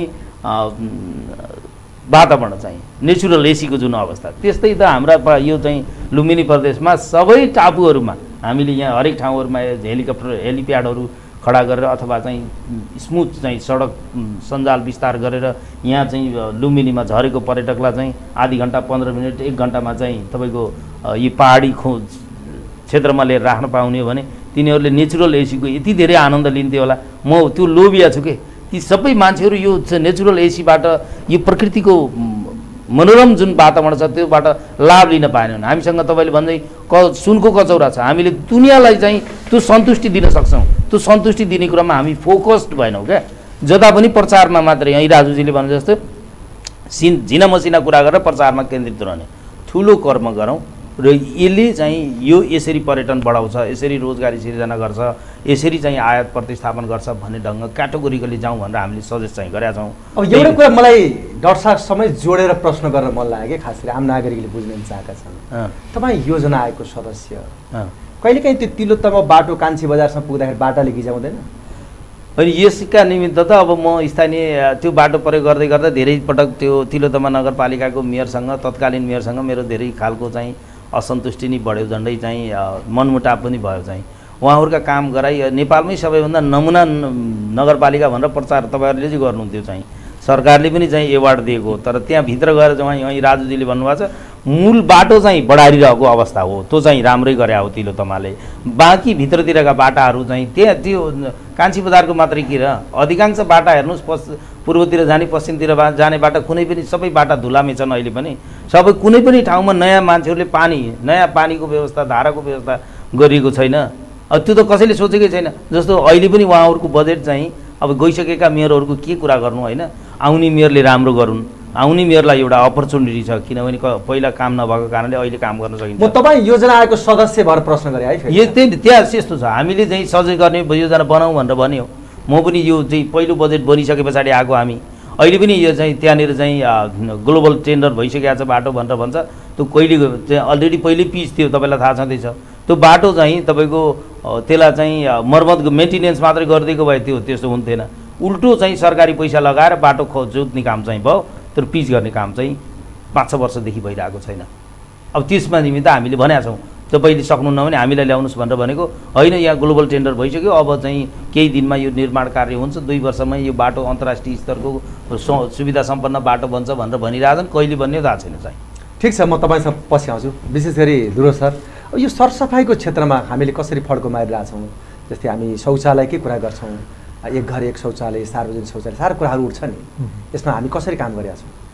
अब यसमा त यहाँलाई थाहा नै छ अब हाम्रो देश नै खुला दिशामुक्त क्षेत्र घोषणा भइसकेको छ। त्यो भनेको हाम्रो देशका सबै घरधुरीमा चाहिँ शौचालय बनेका छन् अथवा केही नबनेका भए पनि कुनै पनि व्यक्तिले चाहिँ खुला दिशा गर्दैन भन्ने नै हो त्यसको सन्देश चाहिँ। अब त्यो छ अब हामी त्यस विषयमा चाहिँ सरकारले घोषणा गर्यो। र अहिले त्यसमा केही कामहरू चाहिँ अझै गर्न बाँकी छ। जस्तै हामी खुला दिशामुक्त क्षेत्र घोषणा पश्चातका क्रियाकलापहरू भन्छौँ अब अहिले डाक्टर साहबले भन्छौँ पूर्ण सरसफाइका कुराहरू चाहिँ पनि जोड्छौँ। अब त्यो अझ एक एक स्टेप त हामी अघि बढ्यौँ एउटा खुड्किलो त हामी पार गऱ्यौँ। अब पहिलाको तुलनामा अब जनताहरूले नागरिकहरूले खुला दिशा गरेको कमै भेटिन्छ। अब एकदमै निमिट्यान नै भयो छैन भनेर चाहिँ दावा गर्न सकेन। केही बनेका शौचालय भत्के त्यसलाई मेन्टेनेन्स गर्न सकेन। जनताको आनी बानीमा अझै परिवर्तन गर्नुपर्ने के? दक्षिणी भेगमा है। त्यो चाहिँ केही होला। त्यसमा अझै सुधार गर्न बाँकी छ। त्यसमा अझ जनचेतनाका कुराहरू आउलान्।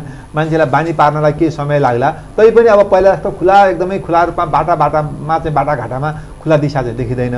र अर्को सबभन्दा ठुलो प्रश्न चाहिँ होइन यहाँले सुरुमा पनि भूमिकामा पनि बाँध्नु भएको थियो। अब सार्वजनिक शौचालयको चाहिँ अब हामी त्यतातिर पनि हेर्नुपर्ने छ। किनभने अब हाम्रो सडकहरू यातायातमा चाहिँ यात्रा गर्ने मान्छेहरू हाट बजारहरू सार्वजनिक स्थलहरूमा चाहिँ शौचालयहरूको चाहिँ अहिले बन बनेको देखिँदैन पर्याप्त मात्रामा बनेको देखिँदैन। त्यसको लागि चाहिँ प्रदेश सरकारले नै यो हाम्रो हाइवेमा हाम्रो यो बर्दियादेखि हाम्रो बरघाटसम्म जुन चिसापानी कर्णाली जुन हाइवे क्षेत्रमा चाहिँ हामीले यो रिफ्रेस सेन्टर भनेर पुनर्ताजगी केन्द्र भनेर त्यहाँ चाहिँ यात्रुहरूको लागि हामीले चाहिँ छवटा जिल्लामा एउटा एउटा तराईका छवटा जिल्लामा एउटा एउटा यस्ता सार्वजनिक शौचालय सहितका चाहिँ जनता यातायातमा यात्रा गर्ने यात्रुहरूको लागि रिफ्रेस सेन्टर निर्माण गर्ने चाहिँ प्लान हामीले गरेका थियौँ। त्यसमध्ये अब बाँकेमा चाहिँ हामीले स्थान फेला पार्न सकेनौँ। पाँच ठाउँमा मध्ये चार तिन ठाउँको चाहिँ निर्माण कार्य सुरु भइसकेको छ। अब क नवलपरासीको बर्दघाट रूपन्देहीको सैना महिना। र कपिलवस्तुको चाहिँ लमई अनि दाङको के अरे कपिलवस्तुको चनौटा र दाङको लमईमा। लमईमा पनि ठेक्का भएको छ त्यहाँ अलिकति जग्गा विवादले त्यहाँ काम सुरु हुन सकेको छैन। अरू तिन ठाउँमा काम सुरु भइरहे भइसकेको छ र बर्दियाको बाँसगढीमा पनि त्यहाँ टेन्डर हुने प्रक्रियामा छ। त्यो सार्वजनिक शौचालयलाई चाहिँ अब यसरी हेरिया छौँ। अब त्योभन्दा अझ तल गएर स्थानीय तहको सरसफाइमा बढी जिम्मेवारी चाहिँ स्थानीय तह हुनुपर्छ भन्ने चाहिँ अब कार्यक्षेत्र निर्धारणमा पनि त्यो उल्लेख भएको हुनाले त्यसमा हामी अलिक बढी चाहिँ प्रदेश सरकार त्यसमा अलिकति ध्यान हामीले त्यति दिन सकेका छैनौँ। हाइवे क्षेत्रमा चाहिँ अब प्रदेश सरकारले पनि गर्नुपर्छ भनेर हामीले काम सुरु गरेका छौँ। तर स्थानीय तहले पनि आफ्नो क्षेत्रमा सार्वजनिक शौचालयहरू बनाउनुपर्छ सरसफाइको जनचेतना जगाउनुपर्छ। यो पोस्ट ओडिएफ खुला दिशामुक्त क्षेत्र पश्चातको घोषणा पश्चातका क्रियाकलापहरू गर्नुपर्छ भन्नेमा चाहिँ हामीले घचघचाइ राखेकै छौँ। र त्यसमा प्रदेश सरकार चनाखो नै छ। मलाई एउटा जिज्ञासा के वास्तवमा इन्जिनियर साहब विशेष गरी यो जसरी यो फोहोर मैला व्यवस्थापन कुरा छ। जुन ढङ्गबाट अहिले गरिराखिया छ यो दीर्घकालीन सोचका साथ गरिया छ या यसले चाहिँ गम्भीर समस्या निम्त्याउने भोलि? तपाईँ के हेर्नु भएको छ? भने एकदमै यसमा राम्रो प्रश्न सोध्नुभयो। अब फोहोर मैला व्यवस्थापनको विषयमा जुन अहिले जुन तौर तरिकाले भइरहेछ त्यो अस्थायी हो अस्थायी हो। देखिरहनु भएको छ बुटोलमा पनि कतिपय ठाउँमा चाहिँ अब त्यो डम्पिङ साइडहरूको चाहिँ राम्रो व्यवस्थापन नहुँदाखेरि बारम्बार प्रश्न उठिराखेको छ जनताबाट विरोध पनि भइराखेको छ। अब त ल्यान्डफिल साइडहरू पनि अब कतिपय ठुला योजनाहरू अब एडिबीले नै डोनेट गरेको चाहिँ प्रोजेक्ट बुटोलमै फेल खायो त्यो स्थान अभावको कारणले गर्दा त्यहाँको जनताले विरोध गरेका कारणले। अब त्यो हिसाबमा चाहिँ अब जान सकिन्न किनभने अब ल्यान्डफिल साइड अब जम्पिङ साइड भन्ने बित्तिकै त्यो चाहिँ एकदम घृणायुक्त भाषा भएको हुनाले जनताले त्यो आफ्नो वरिपरि बनाउन दिँदैन। त्यसले गर्दा अहिले हामीले नयाँ कन्सेप्ट चाहिँ के आएको छ भने हामीले सरसफाइ पार्क बनाएको छौँ। सरसफाइ पार्क निर्माण गर्ने भने एउटा पाइलट स्किमको रूपमा चाहिँ योजनाको रूपमा हामीले यहीँ सिमनगरमा रूपन्देहीमै अहिले हामीले चाहिँ प्रदेश सरकार एक करोड बजेट विनियोजन गरेर अब हामी काम थाल्ने गरेका छौँ। अब हामी त्यो पार्क सरसफाइ पार्क अर्थात् जनता सर फोहोर मैलाको पनि व्यवस्थापन हुन्छ।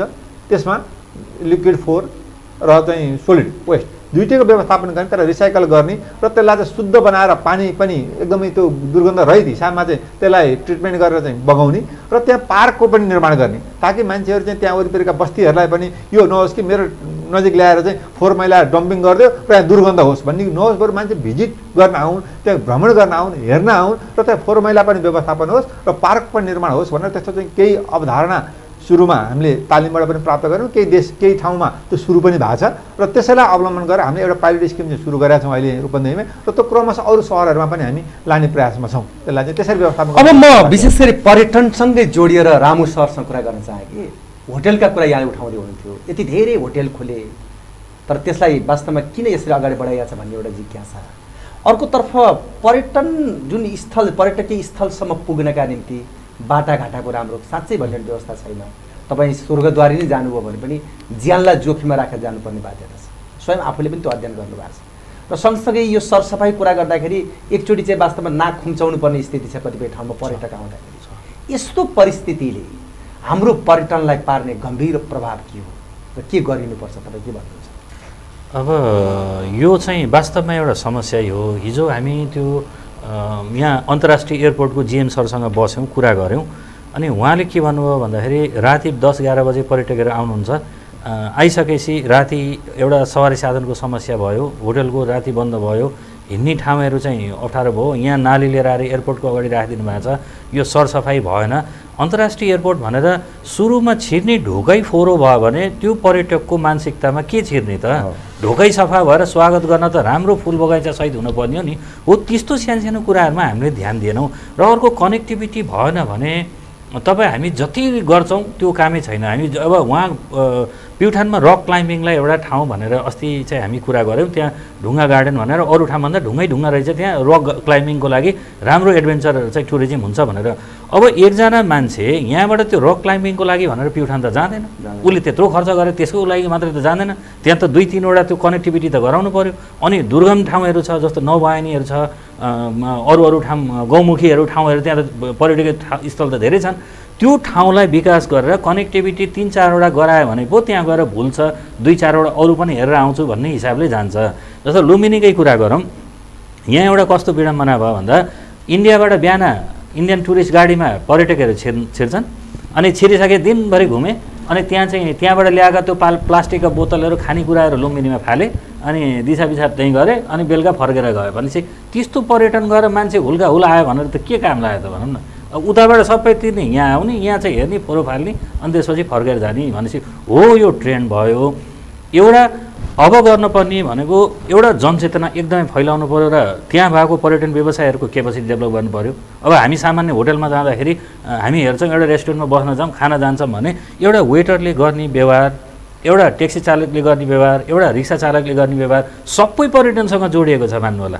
हरेक एङ्गलमा जहाँ जहाँ पर्यटक हामी पर्यटक भएर ल यहाँबाट बेलियासम्म जाऊँ जुन जुन ठोकिन्छ सबै पर्यटकसँग जोडिएछ त्यसले गर्दा सबैमा चेतना हुनु पऱ्यो पर्यटन हाम्रो व्यवसाय हो भनेर हुनु पऱ्यो एउटा क्षमता विकासतिर लानु पऱ्यो र अर्को कनेक्टिभिटीको लागि प्रदेश सरकार सङ्घले चाहिँ एउटा हामी जस्तो चाँडै नै हामी प्रदेशको रणनीतिक गुरु योजना पर्यटन विकासको चाहिँ एउटा बनाउने उसमा छौँ। त्यो बनाउने बित्तिकै हामीले चाहिँ स्थानीय अ, प्रदेश र सङ्घको तिनजनाको संलग्नतामा कसरी चाहिँ हामी जोड्न सक्छौँ भनेर त्यहाँ चाहिँ स्रोत साधनहरू हाल्ने त्यसपछि हामी अब पर्यटन बोर्डले अबको दिनमा अब मुख्य रूपमा तिन चारवटा सेक्टरमा काम गर्ने भन्ने हिसाबले छ। एउटा चाहिँ अब क्षमता विकासमै काम गर्ने त्यहाँ भएको पर्यटकलाई चाहिँ भनौँ न अब फ्रन्ट डेस्कको कुरा गर्दा हामी कति होटलमा जान्छौँ मान्छे आउँछन् आइसकेपछि उसको व्यवहार हामीले त अतिथि देव भयो भनेर हामीले त उहिलेदेखि गरिरहेछौँ तर व्यवहारमा त छैन नि त्यहाँ गएर रिसेप्सनमा कुरा गरेर नै छैन। यताउता भनेर ठाडो भाषा कति ठाउँमा सुनिएको हुन्छ। हो त्यो कुराहरू क्षमता विकासका कुराहरू पहिलो मात्रामा दोस्रो मार्केटिङ र एड एड एडभर्टाइजमेन्टहरूमा बढी मात्रामा अहिले त डिजिटल माध्यम छ। तपाईँको फेसबुकमा सोसियल मिडियाबाट गराउनुहोस् त्यो डेस्टिनेसन त सबैलाई थाहा हुन्छ। अब हामी उदाहरणको लागि हेरौँ एउटा ठाउँ कुनै ठाउँ भाइरल भयो भने त्यहाँ त पुग्ने मान्छेको त घुइँचो लागेको हुन्छ नि। अनि घुइँचो लागेपछि आफै आफ त्यहाँको व्यवसायहरू वरिपरि सबै त्यहीँ त स्टल राख्ने के राख्ने भनेर सुरु भएको हुन्छ। त्यसले गर्दाखेरि इभेन्ट एउटा अर्गनाइज गरेर जम्मा गर्ने हिसाबमा हामी मार्केटिङतिर जान्छौँ र अर्को हाम्रो रिसर्चमा। अब पर्यटन व्यवसाय घाटामा गयो भनेर भन्छौँ हामी अस्ति एक दुई ठाउँमा गयौँ हेऱ्यौँ। आन्तरिक समस्या छ। आन्तरिक समस्या कस्तो भन्दाखेरि एउटै मान्छेले तिनवटा ठाउँ उसले सर्भिस दिन सक्छ भने हामी तिन चारवटा ह्युमन रिसोर्स राखेछौँ। पर्यटन होटलमा हेर्दाखेरि तपाईँको वेस्टेजको कुरा गरौँ भात लिएर आउँछौँ हामी यति यति भात फालिराखेछौँ। खाना बच्चाहरूले यति यति फालिदिएको हुन्छ। त्यो मिनिमाइज गर्ने त रिसर्च गरेर केही न केही त आउनु पऱ्यो नि ल भात फालिएन भने एउटा चक्लेट फ्री भात फालिएन भने मोमो होइन? भात फालिएन भने चाहिँ एउटा केही स्न्याक्सहरू हामी फ्री भनेर आउने कस्टमरलाई मोटिभेट गरेर त्यो वेस्टेज गएन र दसजनालाई पकाएको भात बिसजनालाई खुवाउन सकियो भने भनेपछि त त्यो होटल व्यवसायलाई पनि त फाइदा भयो नि वेस्टेज त घटाउन सक्यो नि हो त्यो रिसर्च डेप्थभन्दा डेप्थ रिसर्चमा चाहिँ हामी जान्छौँ बढीभन्दा बढी त्यो रिसर्च पब्लिस गर्छौँ हामी डेस्टिनेसन खोज्छौँ अनि लगानी सम्मेलन जस्तै हामी खुला गरिदिन्छौँ। उठाउनुभयो। हजुर हजुर होटल व्यवसायीहरूले चाहिँ बसेर उहाँहरूले चाहिँ हामी यो यो सेक्टरमा छ तपाईँहरू पिपिपी मोडलमा जानुहुन्छ घर प्राइभेट पब्लिक पार्टनरसिपमा जानुहुन्छ भने सरकारले केही ठाउँमा लगानी गर्छ कोही व्यक्तिले लगानी गरेको हुन्छ। सबै होटलहरू यहाँ केन्द्रित भइदियो भैरव वरिपरिमा। अब फाइभ स्टारदेखि लिएर हाम्रो कस्तो भन्दा त्यहाँ फाइभ स्टार खोलेछ मैले नि खोल्नुपर्छ भने लगानी लगानी नभएको त होइन नि। यत्रो होटल व्यवसायहरू यहाँ छ। यो केन्द्रित हुनु पर्नेमा ठाउँ ठाउँमा भइदिएको भए त इन्टरडिपेन्डेन्सी हुन्छ नि। अब एउटा होटल मानौँ त्यो कपिल वस्तुको कुनै ठाउँमा भयो भने त त्यहाँ वरिपरिको प्रोडक्ट त आफै बिक्री हुन्थ्यो नि। कृषि सामानहरू बिक्री हुन्थ्यो त आफै त्यहाँबाट खपत हुन्थ्यो लोकल प्रोडक्टहरू हुन्थ्यो त्यहाँको आय आर्जन हुन्थ्यो। हो त्यो हिसाबले केन्द्रित भयो। हामी विकेन्द्रित गर्नको निम्ति हामी लगभग लगभग ठाउँ ठाउँमा व्यवसायीहरूसँगै संलग्न गरेर टुरिज्म बोर्डको हामीसँग डाइरेक्ट सदस्यता आमन्त्रित सदस्य हुनुहुन्छ नेपाल त्यो लुम्बिनी विकास कोषको पनि हुनुहुन्छ। हामी अब आउने दिनमा चाहिँ यस्ता यस्ता सम्भावित ठाउँ देखेर लगानी गर्नलाई खोल्ने ल कहाँ के गर्न सकिन्छ भनेर गराउने सोचमा चाहिँ छौँ हामी चाहिँ अब। अब हामीसँग समय धेरै बाँकी छैन। विशेष गरी डर साहब अब अर्थशास्त्रको विद्यार्थी पनि हो खास मैले नजिकबाट बुझ्दाखेरि। यहाँको एउटा अभिव्यक्ति देश आर्थिक सङ्कटमा छ भन्ने शब्द यहाँनिर जोडिँदैछ। यो उत्पादनमुखी बजेट भन्दा पनि अलि वितरणमुखी बजेट केन्द्रित हुन थाले पछिल्लो समयमा जब व्यवस्था परिवर्तन भयो बा मात्र वितरणमा मात्र केन्द्रित रहे भन्ने खालको कुरा उठ्छ। समग्रमा आम नेपालीको चित्त बुझ्ने गरी जवाब दिनुहोस् त यो विषयमा। गणतन्त्रकै कुरा गरिरहँदाखेरि।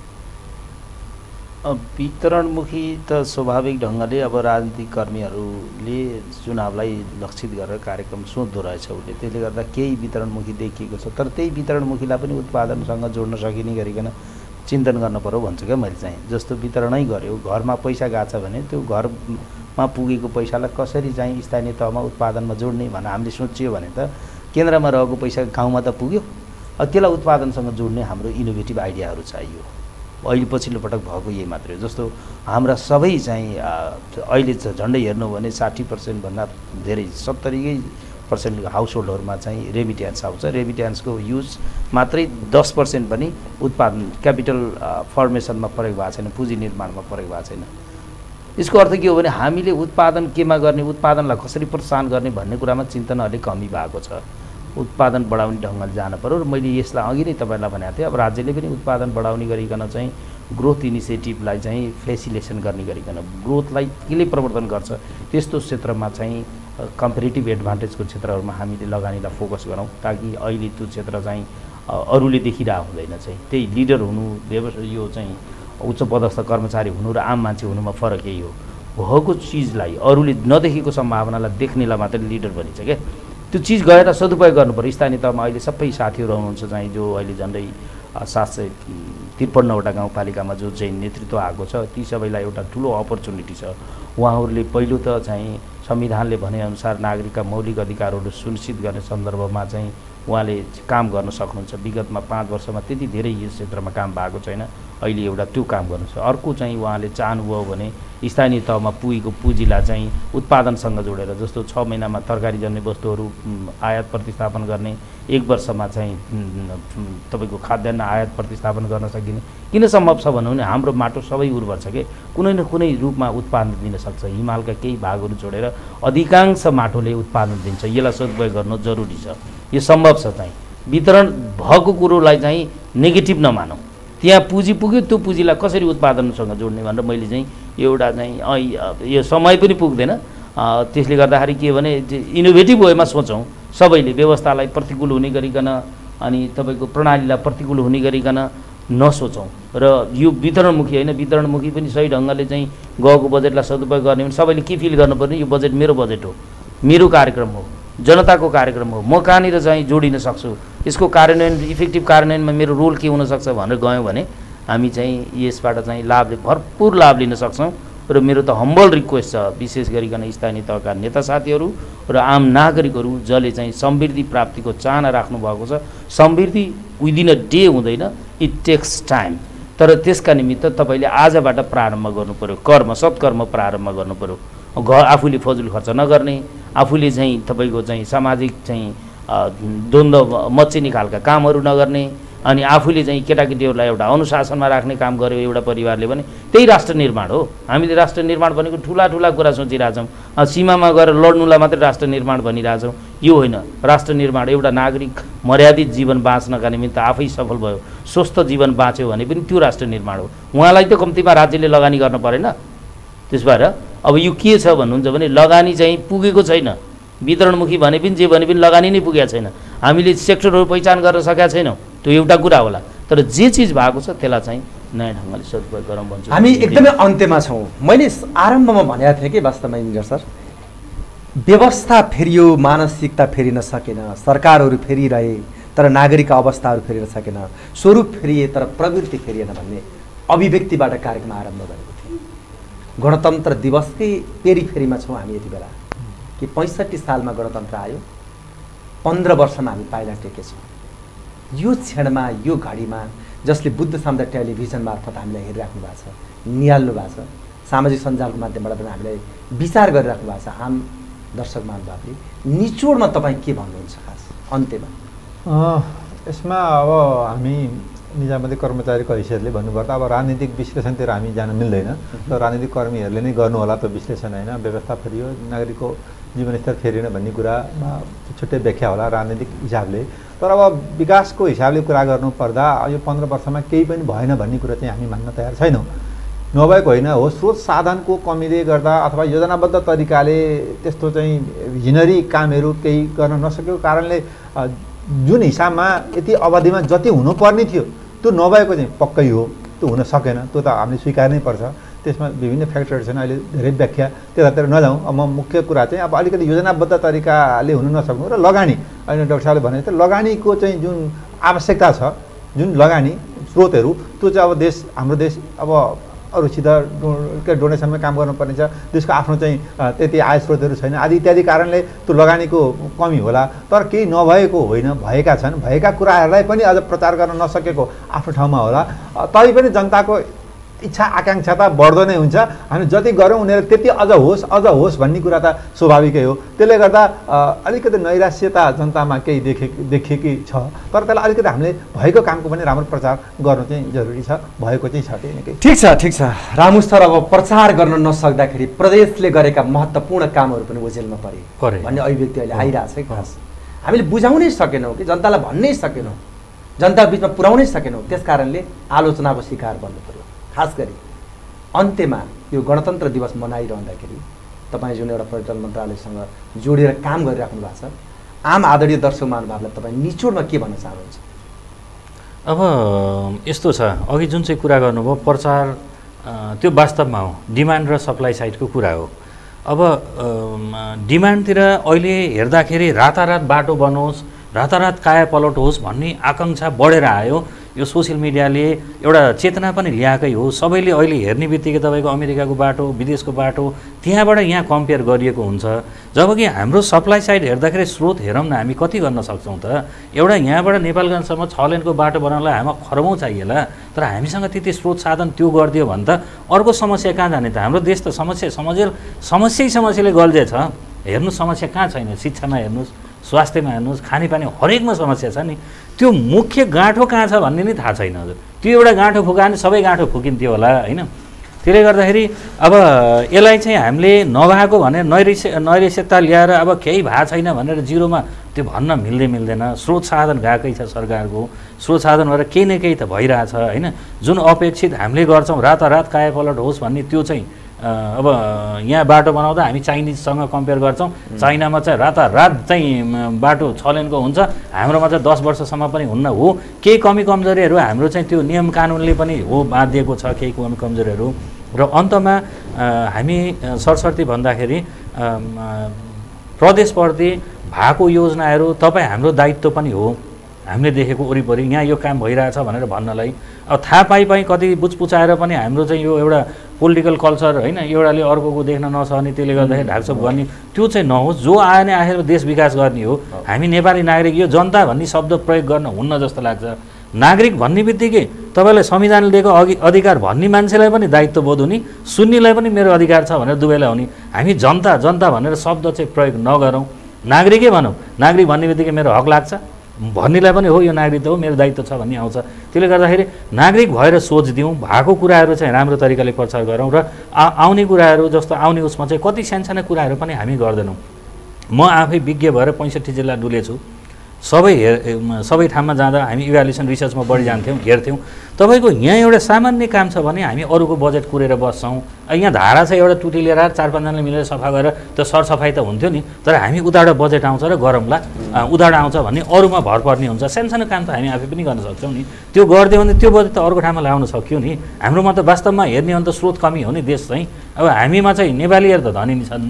हेर्दाखेरि नेपालीहरू लगभग लगभग अब अहिले हेर्दाखेरि चौबिस पच्चिस प्रतिशत मात्रै रेखा गरिबी रेखामुनि भनेर चाहिँ अब अरूबाट आएको छ तर हेर्दाखेरि सत्र अठार प्रतिशत कति छ गरिबी रेखामुनि भनेर अब मल्टी डाइमेन्सनल प्रोपर्टी चाहिँ अलिक बढी होला होइन सब छब्बिस सत्ताइस।